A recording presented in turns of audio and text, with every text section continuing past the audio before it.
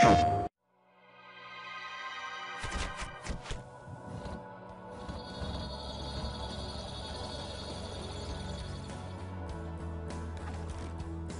I'm really excited about in, in this Killzone game, in Killzone Shadow Fall, um, is the fact that we have all these new locations and environments um, that we were able to build and, in a scale and, and um, a fidelity level that PlayStation 4 allows us to do.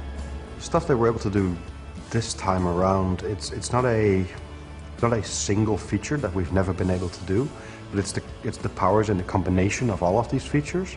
So previously you may have seen high dynamic range lighting or you may have seen really exquisite particle effects or all of that.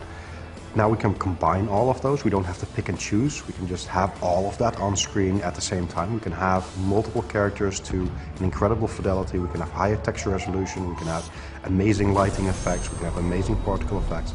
All of that in, in this one scene. PlayStation 4 has proven to us uh, to be the, the, easiest platform so far to develop for. Just from day one, the tool chain was just up and running. Uh, the debuggers, uh, everything was, was there up and running from day one, which as a developer is, is very critical that you don't lose that, that time early on in the, in the process.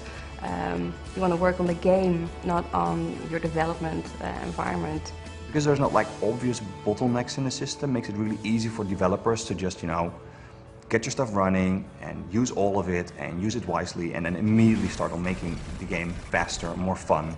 Um, and that means like we get to spend much more time on the actual game instead of working around, you know, obvious bottlenecks in the system. And then added to that, it was made easy to make the game so you can play it while it's downloading. So that means like Killzone's going to do this, you're going to download uh, a chunk of the game, you get the menu, you get the first level, and while you're playing the first level, we're going to download the second level in the background and the third level.